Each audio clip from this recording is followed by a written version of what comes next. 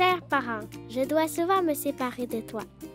Quand je vais me coucher pour la nuit, quand je vais chez mon autre parent ou quand je me fais garder.